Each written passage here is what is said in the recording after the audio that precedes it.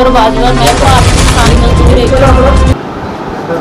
ਨਾਮ ਬੋਲੋ ਮੇਰਾ ਨਾਮ ਵਿਸਾਖਾ ਸਿੰਘ, ਜ਼ਿਲ੍ਹਾ ਪਟਿਆਲਾ। ਅਸੀਂ ਪੰਜਾਬ ਹੋਮਗਾਰਡ ਵਾਰਸ ਯੂਨੀਅਨ ਤੋਂ ਹੈ ਸਾਰੇ ਸਾਰੇ ਜਥੇਬੰਦੀ ਤੋਂ ਆ ਅਸੀਂ ਪੰਜਾਬ ਹੋਮਗਾਰਡ ਵਿੱਚ ਡਿਊਟੀ ਦੌਰਾਨ ਜਿਹੜੇ ਮੁਲਾਜ਼ਮਾਂ ਦੀ ਡੈਥ ਹੋ ਜਾਂਦੀ ਆ ਉਹਨਾਂ ਦੇ ਵਾਰਸ ਆ ਅਸੀਂ ਪਿਛਲੇ ਲੰਬੇ ਸਮੇਂ ਤੋਂ 36 ਦਿਨਾਂ ਤੋਂ ਮਹਾਲੀ 8 ਫੇਜ਼ ਦੇ ਵਿੱਚ ਧਰਨਾ ਲਾਈ ਬੈਠੇ ਆ ਪਰ ਪੰਜਾਬ ਸਰਕਾਰ ਦੁਆਰਾ ਸਾਡੀਆਂ ਕੋਈ ਵੀ ਮੰਗਾਂ ਨੂੰ ਪੂਰਾ ਨਹੀਂ ਕੀਤਾ ਜਾ ਰਿਹਾ। ਅਸੀਂ ਉਸ ਦੇ ਅਕੋਰਡਿੰਗ ਬਹੁਤ ਹੀ ਮੁਸ਼ਕਲ ਨਾਲ ਉੱਥੇ ਬੈਠੇ ਹਾਂ, ਪਰ ਵੱਖ-ਵੱਖ ਅਧਿਕਾਰੀਆਂ ਦੇ ਮਿਲਣ ਦੇ ਬਾਵਜੂਦ ਵੀ ਸਾਡੀ ਕੋਈ ਵੀ ਸੁਣਵਾਈ ਨਹੀਂ ਹੋ ਰਹੀ।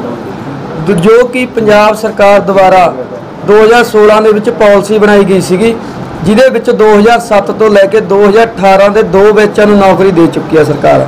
ਤੇ 2019 ਤੋਂ ਲੈ ਕੇ 21 ਤੱਕ ਦੇ 387 ਕੇਸ ਪੈਂਡਿੰਗ ਪਏ ਆ, ਜਿਨ੍ਹਾਂ ਵੱਲ ਪੰਜਾਬ ਸਰਕਾਰ ਦੁਆਰਾ ਕੋਈ ਵੀ ਧਿਆਨ ਨਹੀਂ ਦਿੱਤਾ ਜਾ ਰਿਹਾ। ਤੇ ਉਹਨਾਂ ਨੂੰ ਸਿਰਫ ਲਾਰੇ ਹੀ ਲਾਈ ਜਾ ਰਹੇ ਆ।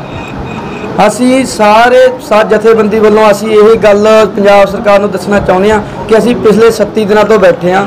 ਸਾਡੀਆਂ ਗੱਲਾਂ ਨੂੰ ਮੰਨਿਆ ਜਾਵੇ। ਨਹੀਂ ਸਾਨੂੰ ਸਖਤ ਐਕਸ਼ਨ ਕਰਨਾ ਪਊਗਾ, ਸਖਤ ਕਦਮ ਚੁੱਕਣੇ ਪੈਣਗੇ। ਤਕਰੀਬਨ 37 ਦਿਨਾਂ ਦੇ ਵਿੱਚ ਸਾਡੀਆਂ ਵੱਖ-ਵੱਖ ਅਧਿਕਾਰੀਆਂ ਨਾਲ, ਕਾਂਗਰਸ ਦੇ ਅਧਿਕਾਰੀਆਂ ਨਾਲ ਮੀਟਿੰਗਾਂ ਹੋ